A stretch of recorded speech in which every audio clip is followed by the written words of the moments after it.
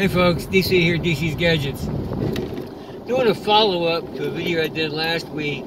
Um, I took a, uh, took a colony of a guy soffit on Tuesday, I think it was Tuesday, yeah, on a Tuesday. And I went back Wednesday evening and sucked up the rest of the bees, or collected the rest of the bees. And there was enough bees to cover like two whole medium frames.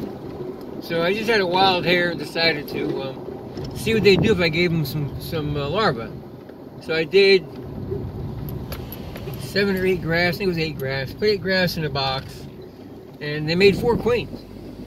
So as I pulled out yesterday, today's Friday, the, uh, what is today? Today's Friday the 10th. So yesterday, Thursday, would have been eight days after graft, I pulled out the cap cells and stuck them in the incubator. I left one behind for the bees to make a queen. So, various things going on today. I wanted to set up another cell builder this weekend to do some more grafts. And I got a lot of stuff to do. I'm Just I'm busy. I'm always busy. Then I got a call, or I got a text anyway, that one of the club members needed a mated queen, and I knew I had some out in the mating yard, so I started thinking, you know, I'll go find a queen, and maybe I'll grab some frames of bees and put together a cell builder. So I went out in one of my mating nucs, and it was a two frame, one of my old two frame boxes I had. I found the queen in there. And it's full of bees because this is actually the third queen coming out of that box. I think it's the third queen. But anyway, the um, yeah, the last two queens had laid a bunch of eggs in, in there, so it was full of bees, packed full of bees.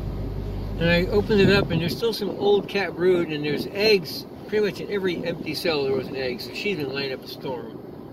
I got thinking, you know, I got now I got this box full of bees. I don't have any virgin queens to stick back in the box, and I really need to put a mating box together, or a um, cell builder together. So, what I did today is I took the um, I took those two frames full of eggs and stuff, and all those bees out, and I shook all those bees into my cell builder because I do not want brood in my cell builder.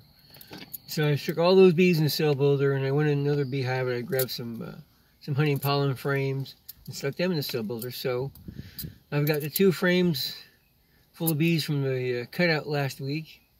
And I've got two frames that I took out of my mating box. And they're, they're in a five frame box.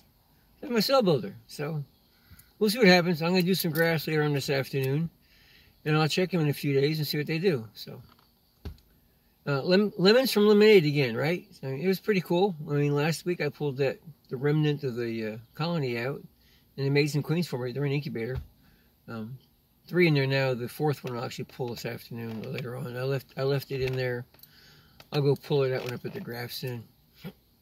Uh, but yeah, so we'll see what happens. You know, if I can get if I get one queen out of that, it's still better than none. And we'll see what it does with the grafts I put in there this afternoon. So stay tuned. We'll see what happens.